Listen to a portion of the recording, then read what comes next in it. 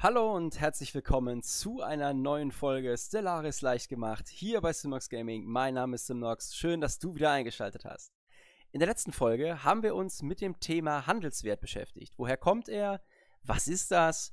Und was bringt er uns am Ende des Tages?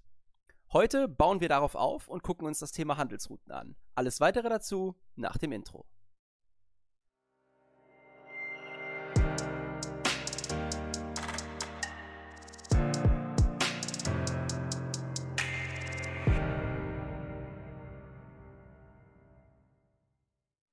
So, und da sind wir auch schon wieder in unserem kleinen Reich der Pilzköpfe. Ihr erinnert euch daran, dass wir beim letzten Mal über das Thema Handelswert gesprochen haben, wo er erzeugt wird und wie man ihn dann schlussendlich nutzen kann.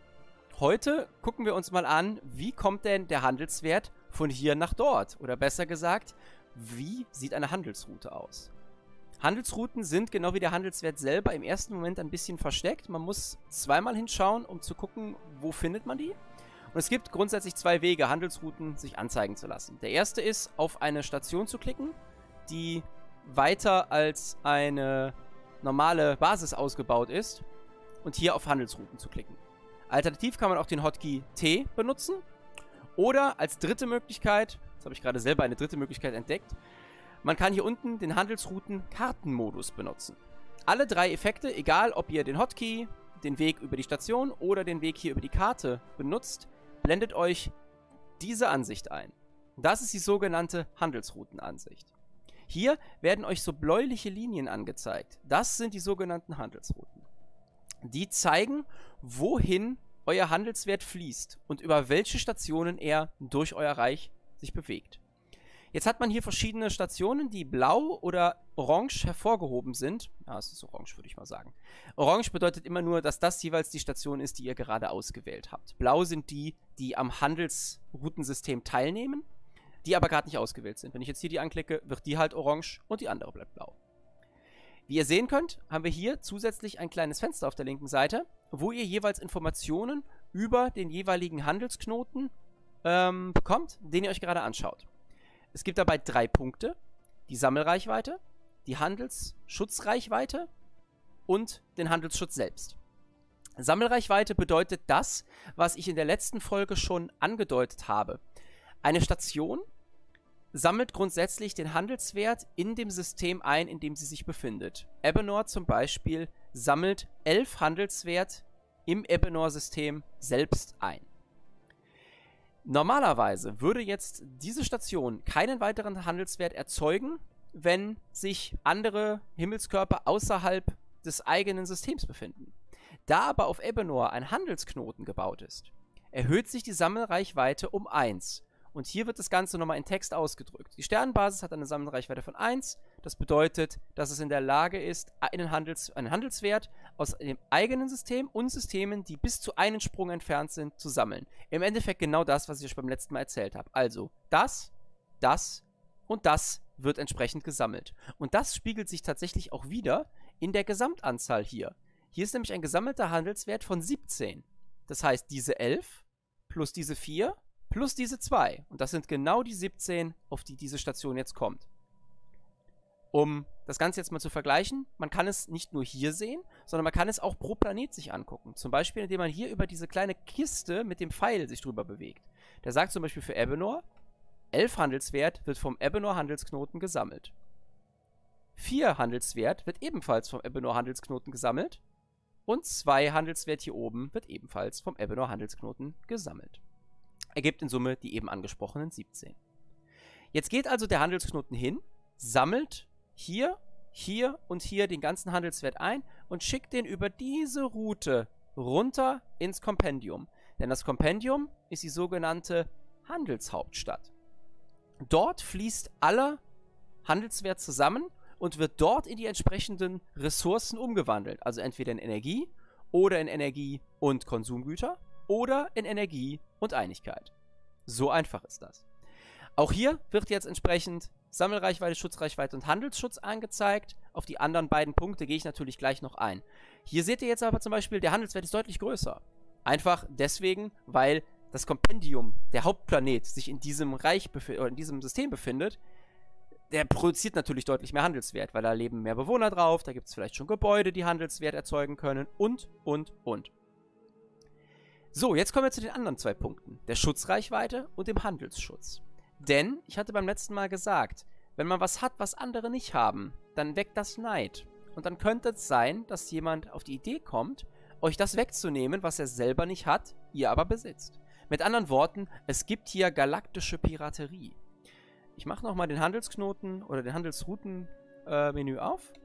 Mit T. Okay, T funktioniert nicht. Sehr gut. T funktioniert nicht. Okay, also muss man doch den Weg... Ah, man muss die Station anklicken und dann T drücken, Leute. Also, Station anklicken und T drücken oder über den Kartenmodus, dann bekommt ihr die Handelsrouten. Es gibt also doch nur zwei Möglichkeiten. So, wir sind wieder in unserem Handelsroutenmenü und hier sehen wir so einen roten Totenkopf. Dieser roten, rote Totenkopf signalisiert Piraterie. In diesem Moment ist der Wert der Handelsroute 17,34 Punkte. Wir haben eine maximale Piraterie von 4,33 und diese Piraterie wirkt sich negativ auf den Handelswert aus. Mit anderen Worten, Piraten pflücken hier schon Handelswert ab auf dem Weg hier runter. Es kommt also weniger dort an, als hier auf den Weg geschickt wird. Das ist natürlich nicht so schön, weil damit bußen wir, büßen wir natürlich Erträge ein. Das ist nicht schön. Und es ist noch dazu noch viel, viel schlimmer. Der Handelswert ist jetzt derzeit höher als meine Piraterieunterdrückung. Das heißt, die Piraterie nimmt auf dieser Route sogar zu. Es ist eigentlich logisch. Die Piraten sehen, aha, ich kann hier machen, was ich will, ich kann hier Händler überfallen und die Karawanen ausrauben und nichts passiert, weil niemand etwas dagegen tut. Also werden die Piraten tendenziell an dieser Stelle immer weiter zunehmen, solange wie der Handelswert höher ist als die eigentliche Piraterie. Wenn die Piraterie ihr Maximum erreicht, tauchen die Piraten hier sogar auf. Und man muss sie erst, ja, vernichten, um die Handelsroute wieder freizukriegen. Das kann also echt nervig werden und äh, ist einfach ein kleiner Störfaktor. Was macht man jetzt dagegen? Erstmal gibt es den sogenannten Handelsschutz. Handelsschutz bedeutet, jede Station hat einen anderen Handelsschutz. Der ist davon abhängig, wie groß ist die Station, welche Module hat die Station und, und, und. Je höher der Handelsschutz ist, umso mehr Handelswert ist garantiert sicher vor Piraterie. Innerhalb der Handelsschutzreichweite.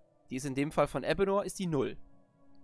Bedeutet, alles, was sich im Ebenor-System befindet, selbst wenn es dort Piraterie gibt, mindestens 8 Handelswert sind immer sicher, weil der Handelsknoten so groß ist, dass 8 Handelswert auf jeden Fall vor den Piraten geschützt werden können.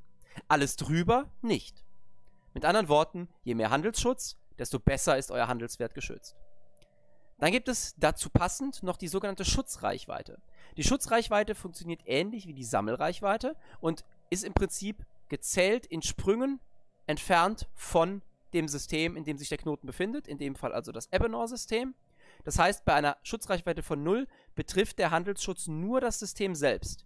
Wäre die Schutzreichweite 1, wären Landis und Yaranaga, ne, Yaragana mit betroffen vom Handelsschutz, würden also davon profitieren. Bei zwei wären noch weitere Systeme betroffen und so weiter und so fort. Ich denke, ihr wisst, worauf ich hinaus möchte. Je höher also euer Handelsschutz und je höher auch eure Schutzreichweite, umso besser ist euer Handelswert vor Piraten geschützt. Eine zweite Möglichkeit, die Piraterie ähm, wieder loszuwerden auf einer Route, denn es wird sich unweigerlich dort, wo wenig Handelsschutz besteht, Piraterie bilden. Klar, Piraten suchen sich nicht unbedingt die stärksten befestigten Handelsknoten aus. Die suchen sich immer irgendwelche Ecken aus, wo sie leichte Beute machen können. Wie die meisten Piraten das so tun. Wie kann ich dagegen jetzt vorgehen? Weil ich kann ja jetzt nicht in jedes System einen Handelsknoten bauen. Dafür gibt es die sogenannte Piraterieunterdrückung.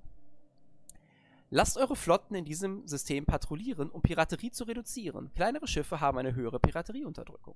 Bedeutet mit anderen Worten, ihr könnt eure Flotten auf Patrouille schicken. Mal ein Beispiel. Ich habe hier meine Glaya Stella Cluster. Die schwebt im Moment hier im Compendium-System herum und erfreut sich ihres Daseins. Denen kann ich jetzt sagen, hier oben mit diesem kleinen Symbol, das ist dieses kleine Fernglas und das Schiff, Patrouille. Befiehlt eurem Schiffen zwischen ihrer momentanen Position und der Zielposition zu patrouillieren.